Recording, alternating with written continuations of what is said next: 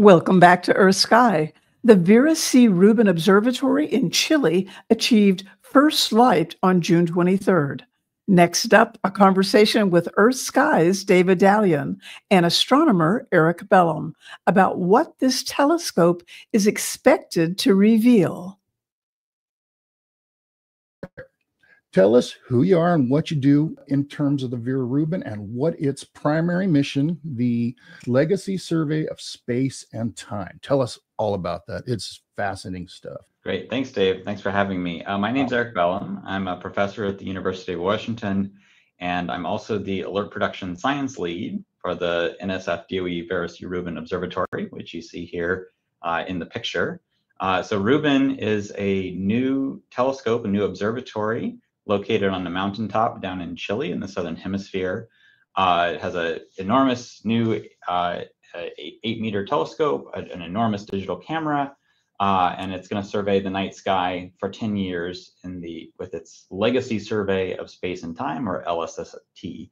So this is a, a, really wonderful uh, multicolor image, uh, uh a movie of the night sky that we're going to be taking starting almost immediately this year uh, and, and it's going to last for 10 years and give us hundreds of images across the whole southern sky. You know what? I feel like we need to see one of those images, and I've got a beautiful image of the Trifid Lagoon Nebula that the Rubin acquired when it was taking first light. Have we ever seen this much detail of this object before, Eric?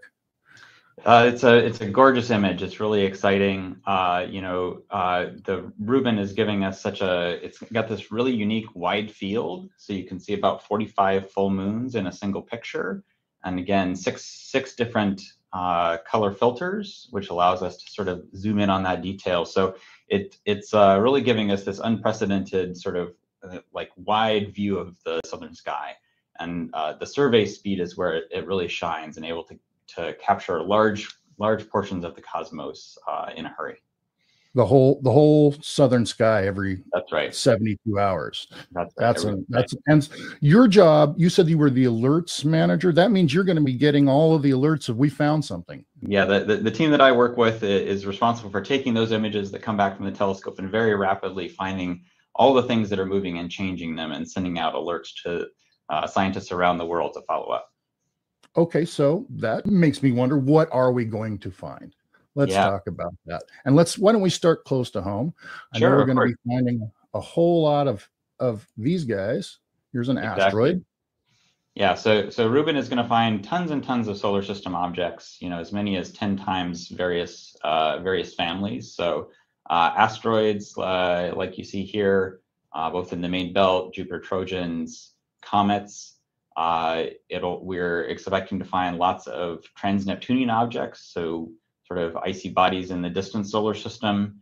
Uh, Those are things that are out beyond the orbit of Neptune. Right? Exactly, exactly, okay. and maybe even potentially, you know, the hypothesized planet nine. Uh, if that exists, uh, Rubin is very well positioned to find it.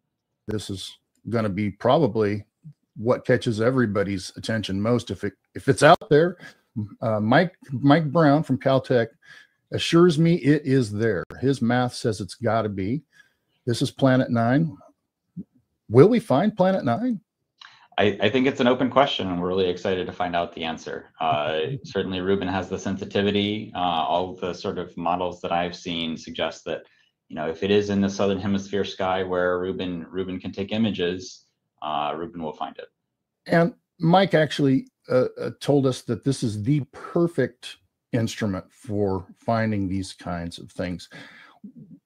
Can we talk just a second about how it how it works? What is it actually doing?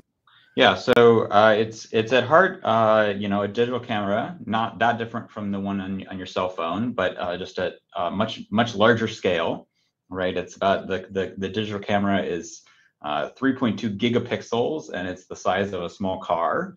Uh, so it's the largest digital camera ever built.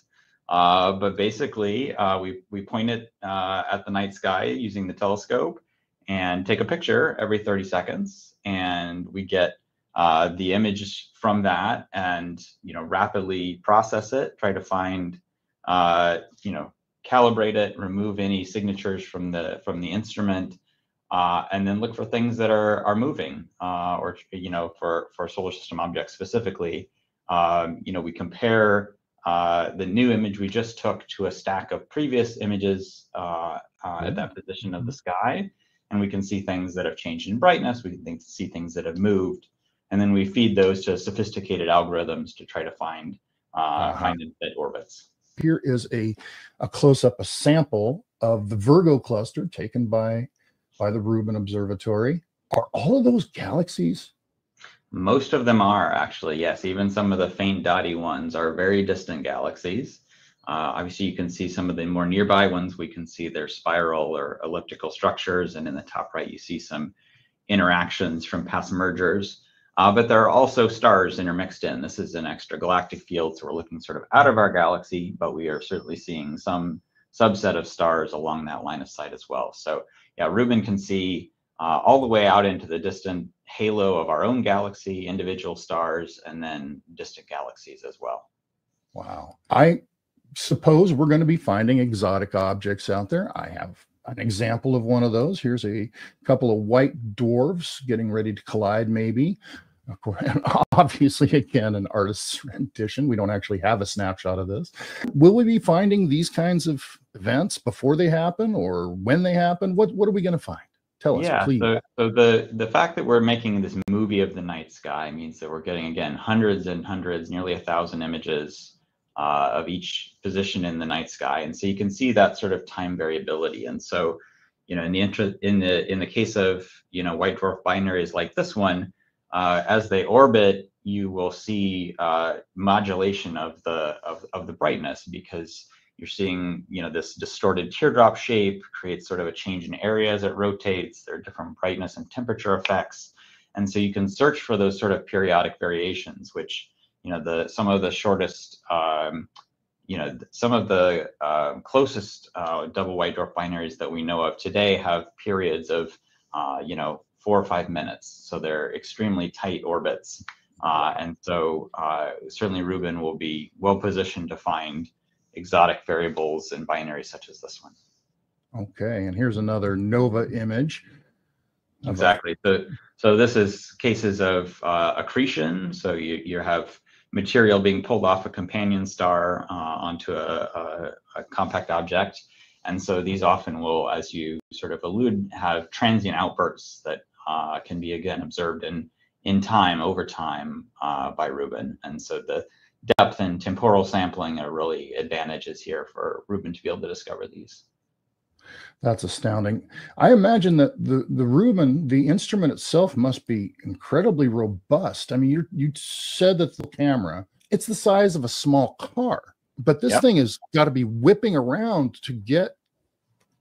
That's Tell right. us about the, the engineering on that. I- yeah I- so so so the the telescope was purpose built from the beginning for speed because the faster you can survey the more you can discover uh, and so the telescope itself which is you know again an eight meter mirror uh, you know slews incredibly quickly because it's taking a 30 second exposure and then in just two or three seconds it wants to be on the next field over and so uh, it's I, I have been fortunate to see it in person and it's an incredible piece of engineering and it's really exciting to see it uh, you know, whipping around the sky.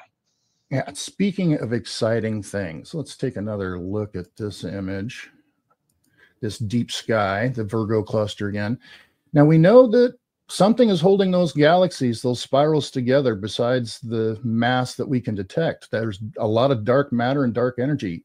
Can this tell us something about all that stuff? Absolutely. So the cosmologists are, are extremely excited for the Rubin data. Uh, much of that is going to be uh, coming from the deep co-added stacks of images. So you get the, the greatest amount of depth and can see the furthest back in time. Uh, and so some of the things that they hope to do uh, is uh, you can uh, sort of measure uh, the effects of dark matter on uh, the shapes of galaxies. There are these subtle distortions that happen uh, as the matter is distributed over space and time. And so they do these enormous sort of statistical measurements over the entire night sky in very sophisticated ways to try to, to trace that impact. And then in terms of dark energy, uh, things like uh, supernova 1a, which are you know exploding white dwarfs, they're standard candles, so we know how bright they are. Uh, and thus how far away they are. Uh, Rubin's, again, time domain survey will let us find those out to great distances and we'll have them uh, extremely well calibrated and be able to use those for uh, you know, Hubble diagrams and the sorts of analysis that enabled the initial discovery of uh, the accelerating universe. That's fascinating. We had Wendy Freedman on uh, not too long ago, and she told us about the stuff she's been able to find with the James Webb Space Telescope. Yes. I imagine she is chomping at the bit to see the the Vera Rubin Observatory data. Indeed. Wow, wow, wow. Eric, thank you so much for being here. All right. Thanks, Dave. Thanks for having me. Thank you.